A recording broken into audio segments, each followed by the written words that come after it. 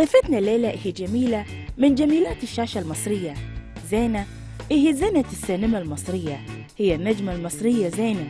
هي لكل منتج زينة وخزينة باللي تقدمه من أدوار مهمة قدرت تعبر المحيطات وتوصل لقلوبنا وتحتل مكان خاص فيها. كل سنة ننطرها تطلع علينا بالمختلف ما تقدم إلا اللي يسوى. نتابعها بأعمالها بكل شغف. زينة في السينما لها مكانتها اللي ما ينافسها عليها أحد. تلقائيتها وعفويتها زينة كسرت السينما بدخولها. هالعام نتابعها بمسلسلها الجميل جمع سالم. نبي نعرف شنو راح تسوي الدكتورة مريم في باقي حلقات جمع سالم.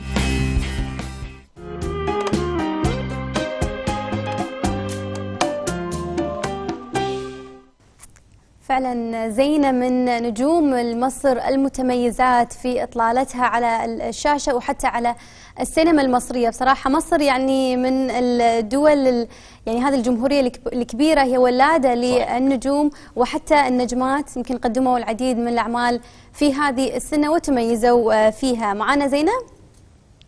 زينة يمكن العمل اللي جمعها على ما يجهز ويانا الاتصال. Yeah. العمل اللي راح ندردش ونسولف فيه في رمضان 2020 اللي هو مسلسل جمع سالم. حياك الله زينة معانا. وعيدك مبارك مقدما ومبروك نجاح هذا المسلسل جمع سالم. ألو؟ ألو؟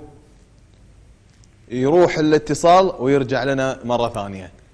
على ما يجهز ويانا الاتصال بس. إحنا معاها وإحنا سعداء بصراحة في هذا التواصل خصوصا إن هي طلت علينا هالسنة من خلال هذا المسلسل جمع سالم. طلعت طلعت ببرنامج مع فيفي عبدو أيضا في في رمضان هذا وكان من ال- البرامج الخاصه بالمقالب. صحيح. وتعورت وفي في نقطة أنا بتكلم فيها يعني دائما لما يصير في برنامج مقالب أول شيء ينسأل عن البرنامج شنو يا أسرار؟ إذا مفبرك ولا لا؟ fake ولا مو fake؟ خلاص أصبح المشاهد عنده خط أول بأن أي برنامج مقالب حتى في في وايد ناس قاعدة تجيهم تطرح عليهم أعمال من منتجين إن تكون برامج صحيح. مقالب يقول لك لا يا معود ما بي ناس تتكلم عني انه هو fake ولا هو مو fake ولا جزء منه صحيح. fake فالناس قاعدة تختلف بهالموضوع اي أنا بقول لك شغلة بصراحة يعني اللي يشوف حلقة آه، زينة مع فيفي يدري إن ال يعني ردة فعلها كانت والرجفة اللي هي فيها وكان قريب إن هي تبكي أو إذا بكت وما كان مبين هذا بعد ما يندرى مبينها صدق ما كانت تدري يعني شلون 100%. عرفتي؟ قلت لك من رجفتها وخوفها في بس هي ممثله. شاطرة. هي شاطرة. م... إذا معناته عيل أنا ما قاعد درس أجرح علينا. على فكرة أنا. نقول ألو خلينا نشوف. معانا زينة؟ أدينا بنحاول. زينة يا زينة كل عام وأنت بخير. ألو؟ أهلا أهلا في وأنت الصوت. بألف خير شلونك يا زينة؟ أهلا. الحمد لله تمام. أنتوا اخباركم إيه كل سنة وأنتم طيبين. وأنت وأنت طيبة. صحة وعافية. زينة أنت من النجمات اللي لك؟ جمهور كبير في الكويت وأنا متأكدة أن أنت تدرين في هذه المعلومة وعلى تواصل دائما جمهورك الكويتي معاك. آه نبارك لك في البداية نجاح مسلسل جمع آه سالم. نتكلم عن ردود الأفعال ال- الخاصة في مصر أو حتى جمهورك في الخليج وتحديدا في الكويت.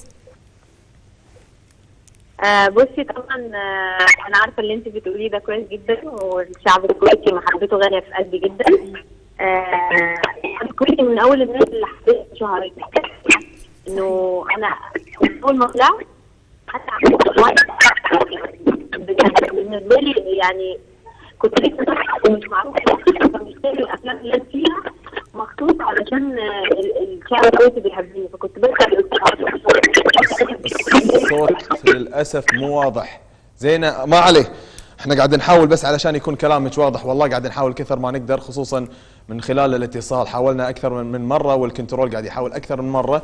بمحاوله أخرى إن شاء الله تكون واضحة علشان نقدر آه، نستقل آه، هذا الاتصال هاتفي من الفنانة زينة من مصر جاينا تحديدا. راح نطلع بريك وبعدها إن شاء الله ناخذ الاتصال ويكون جاهز. إن شاء الله. وما زلنا مع الفنانة ونجمة مصر زينة. نرجع لك مرة ثانية حول مسلسل جمع سالم. أنا اللي عارفة أنه من كم يوم كان فركش التصوير. تأخرتوا للتصوير. آه تأخرنا جدا فعلا. آه بس الحمد لله خلصنا. علشان طبعا أنت عارفة أزمة الكورونا وال وال والوقت الصعب اللي إحنا كلنا بنعدي فيه بالعالم كله. فده وقفنا أسبوعين عن التصوير وبعد كده كان في آه، وقفات تانية فهو ده طبعا سبب التأخير بس الحمد لله الحمد لله إن إحنا قدرنا نخلص. الحمد لله. الحمد لله. الله يسهل إن شاء الله. لما نتكلم شوية أكثر عن مسلسل جمع سالم حتى اسم ال- المسلسل شوي غريب. خلينا نتكلم عنه. آه، جمع سالم هو هو زي جماعة سالم. جماعة سالم دول اللي هم ولاده اللي هم آه، ولاد سالم يعني. فمسمينها جمع سالم باللغة العربية ال- المجموعة بتاعت سالم يعني. صحيح. دي عشان الفكرة كلها قايمة على فكرة الأخت اللي بتدور على إخواتها واللي بتلاقي إخواتها و- واللي بيتفرقوا وهم صغيرين و- وهي بتبقى متبناة وبتنجح وبتعيش حياتها لغاية ما بتلاقي إخواتها وبتقف جنبهم وبيقفوا جنبها. فالفكرة كانت بالنسبة لي مختلفة وقوية عكس كل الحاجات ال- ال- اللي. بتحصل. دايما بيقولوا ال- الح- الحاجات اللي بتشد اللي هي المنفرة. لا الحاجات ال- ال- اللي بتشد برضو الحاجات الناعمة الظريفة. الحقيقية اللي هي جو العيلة والأسرة والمبادئ والقيم.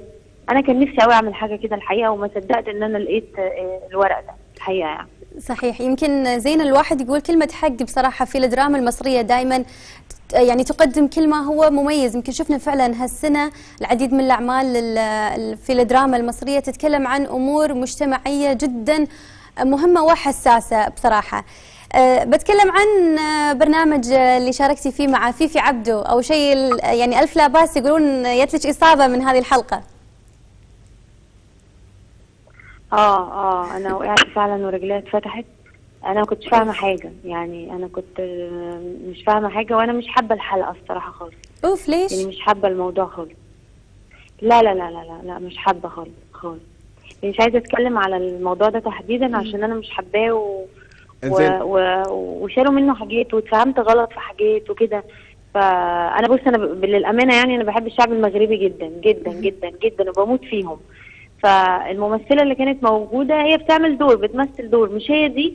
آه، يعني أنا لما هتتكلمي كويتي بسرعة أنا مش هفهمك. صح. ولما تتكلمي مغربي بسرعة برضو مش هفهمك. صحيح. إحنا لغتنا سهلة بالنسبة لكم عشان عشان الوطن العربي كله اتربى على اللهجة اللهجة القديمة. تقصدين نعم. اللهجة بتاعت آه اللهجة بتاعت الأفلام. أنتوا عرفتوا ال- ال- اللهجة بتاعتنا منين؟ من الأفلام المصرية. طبعا. السينما المصرية بقى لها سنين وسنين.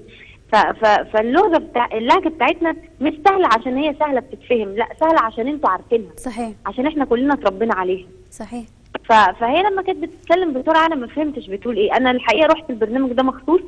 آه مبدئيا هي كانت من الأول خالص. أنا رحت برنامج زي ده قالوا لي إنه المحطه ام بي سي بتفتح في في المغرب. نعم. ام بي سي المغرب زي ام بي سي مصر وكده. فأنا بحب المغرب جدا ومن أكتر الشعوب اللي بتحبني الصراحة آه، جدا. فقلت لهم الله أنا بحب الشعب المغربي وأتمنى إن أنا أعمل لهم حاجة. يعني أحب إن أنا أقدم لهم حاجة وأنا ما بحبش البرامج أصلا. أنت عمرك ما هتلاقيني في برامج. أنا بقعد بال 10 سنين وبال 12 سنه ما بطلعش ما بيفرقش معايا. صحيح. آه عشان البرامج بتقل بت- بتاخد مني لأني بتكلم بصراحة والناس مش متعودة إنه يشوفوا الفنان بيتكلم بصراحة. هم عايزين اللي يفضل يقول لهم كلام حلو طول الوقت. أنا عفوية جدا. فبخسر. المهم رحت علشان آه، خاطر الشعب المغربي. فالنهاية إن أنا طلعت إن أنا آه، آه، مش فاهمة اللهجة ما هو طبيعي يا جماعة إن أنا مش فاهمة. صحيح. هو طبيعي على فكرة. صحيح. زين بس إحنا المتك... كل واحد بيغير على بلد ولهجته وأنا بحترمهم جدا. الحقيقة. وبحبهم وبقدرهم جدا. صحيح. إحنا لما نتكلم عن يعني هذا كلامك يثبت بأن أنا أنا ما بتكلم عن البرنامج هذا أنا بتكلم بشكل عام. كل برامج الكاميرا الخفية بأن مو مو الكل مفبرك يعني أنا شنو أقصد إن مثلا يكون عندك برنامج هل أنت لو جت لك فرصة بأن الشركة تقول لك والله تعالي يا زينة رمضان اللي جاي أنت صاحبة برنامج آه، مقالب توافقين عليه؟ أنا اللي أعمله أنا اللي أعمله أي أنت اللي تعملينه آه. يعني أنت قصدي آه، أنت بحب مو مش. الضيفه أيوه أنا المذيعة بس أنا بحب الحاجات آه. دي قوي آه أوكي. أنا أنا حابه أعمل مقالب تحبين تسوين بالناس؟ بصراحة. بس ما تحبين الناس تسوي معك أوكي. منه. انتقم منه. لا أنا ما حدش يعمل كده معايا بس أنا أعمل كده في الناس. بس بصراحة زينة يعني يعني أنا بحس يمكن إن رامز بيلاقي متعة. يعني كنت كنت ت- يعني تتمني لو أنت كنتي موجودة مع رامز ويعني اخذتي المقلب؟ أنا بصي بصي أقول لك على حاجة. رامز بصي بكل الحاجات اللي بيعملها دي أنا بحبه قوي. هو صاحبي وأنا بحبه جدا. وبموت فيه وبيضحكني. والمقلب بتاعه على فكرة آه، بيضحك. يعني أنا ب... صحيح. آه آه وقتها أنا أنا رحت المقلب بتاع الطيارة ده و- و- واتبهدلت وكنت بموت وروحي. كانت بتطلع. بس بعد وأنا بتفرج على الحلقة انبسطت.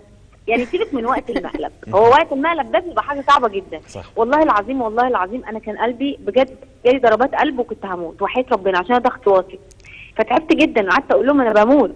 أنا أنا أنا طيب عارفة. أنتوا بتهزروا بس أنا بموت. ف فلما اتفرجت على الحلقة كنت قاعدة مبسوطة و...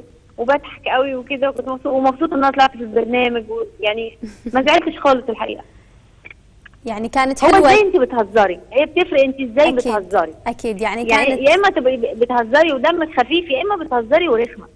صحيح. بتهزري بتهزري ودمك. تقيل بتهزري ومتجاوزة. في في في تجاوز في في فاصلة كده ما بين إن. انت بتهزري وإن انت بايخة فاهمة أنا ما بحبش البواخة بس.